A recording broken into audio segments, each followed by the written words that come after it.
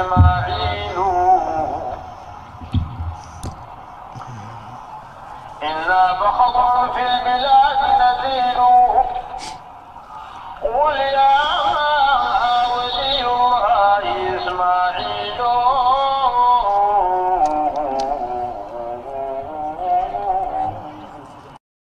عندهم خمسة شبهات في موضوع دعاء غير الله. بيجوزوا به الصوفية دعاء غير الله. الشبهة الأولى أثر عن الهيثم بن حنش. قال كنا عند ابن عمر. فخدرت رجله رجل ابن عمر. فقال له رجل أذكر أحب الناس إليك. فقال يا محمد. فكأنما نشط من عقال. الأثر ده ضعيف لأنه الهيثم بن حنش الراوي بتاع الأثر مجهول كما قال الخطيب البغدادي في الكفاية. الصفحة 88 الشبهة الثانية عن مجاهد قال كنا عند ابن عباس فخدرت رجل رجل عند ابن عباس. فقال له ابن عباس رضي الله عنهما اذكر أحب الناس إليك قال محمد فذهب خدره. والأثرين ديل نقلهم ابن تيمية نقلا في كتابه الكلم الطيب.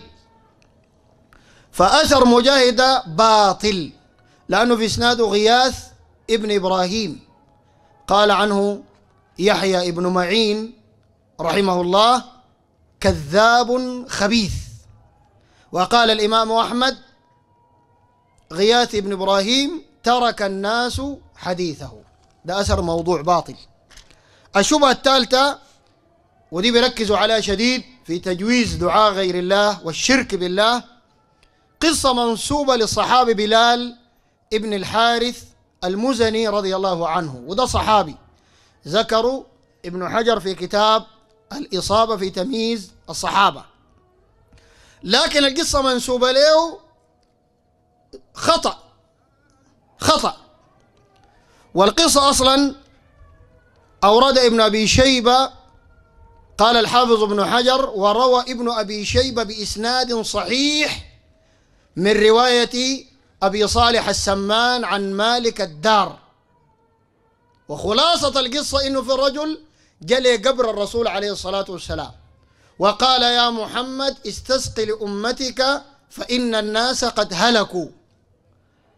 قال الراوي وروى سيف الفتوح أن الذي رأى المنام المذكور هو الصحابي الجليل بلال بن الحارث المزني أحد الصحابة.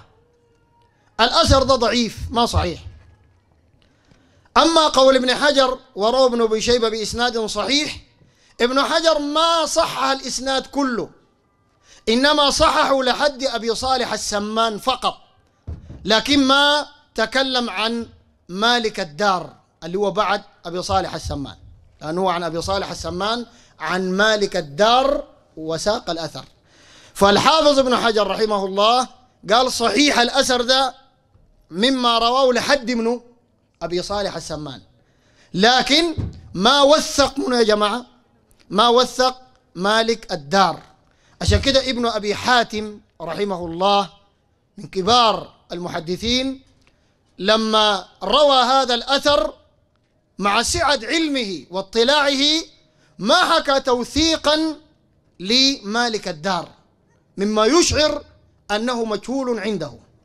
وكذلك الحافظ المنذري في كتاب الترغيب والترهيب روى أثرا من رواية مالك الدار عن عمر بن الخطاب قال وهذا أثر رواته مشهورون إلى مالك الدار ومالك الدار لا أعرفه. برضو مما يشعر أنه مجهول. وكذلك الهيثمي في كتاب مجمع الزوائد ومنبع الفوائد أيضا حكى ما يشعر بجهالة مالك الدار. وما في أحد من العلماء أو المحدثين وثق مالك الدار فبقي على جهالته فالأثر ضعيف. أما قال وروى سيف الفتوح أن الذي رأى المنام إنه الرجل ده بعدين جو في المنام وقال له ائت عمر الرجل الجا دعا في قبر دعا الرسول في قبره ده ائت عمر وكده روى سيف الفتوح إنه الرجل الجدى هو بلال بن الحارث المزني الصحابي. سيف ده منه الروى إنه الرجل ده هو صحابي بلال بن الحارث. سيف ده هو سيف بن عمر التميمي وده مجروح عند المحدثين. إخباري مجروح سيف بن عمر التميمي. روى الذهبي نقل عن آه، مطين بن يحيى قال فلس خير منه. وقال أبو داود عن سيف بن عمر التميمي ليس بشيء. يبقى الأثر ده ضعيف وما حصل ولا في صحابي بلال بن الحارث المزني جدع الرسول بعد ما مات في قبره. أبدا.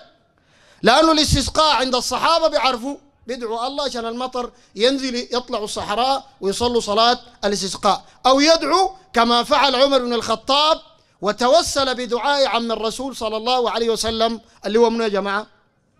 أه؟ العباس بن عبد المطلب. وقال له قم فادعو فدعا العباس وقال اللهم لم ينزل بلاء إلا بذنب ولم يكشف إلا بتوبة. ودعا فنزل المطر. الشبهة قبل الأخيرة. رواه الطبراني بن السني عن ابن مسعود مرفوعا إذا انفلتت دابة أحدكم بأرض فلات فلينادي يا عباد الله احبسوا علي يا عباد الله احبسوا علي فإن لله في الأرض حاضرا سيحبسه عليكم. الأثر ده أيضا ضعيف لأنه في إسناده معروف بن حسان السمرقندي قال عنه ابن أبي حاتم رحمه الله ضعيف مجهول فالأثر ضعيف. الشبهة الأخيرة حديث إذا أضل أحدكم شيئا أو أراد غوثا وهو بأرض ليس بها أنيس فليقل يا عباد الله أغيثوني فإن لله عبادا لا نراهم. رواه الطبراني في الكبير. أيضا الحديث ده ضعيف لعلتين. لأن الحديث من رواية عبد الرحمن بن شريك ابن عبد الله القاضي. قال الحافظ ابن حجر عن الأول وهو عبد الرحمن بن شريك صدوق يخطئ كثيرا.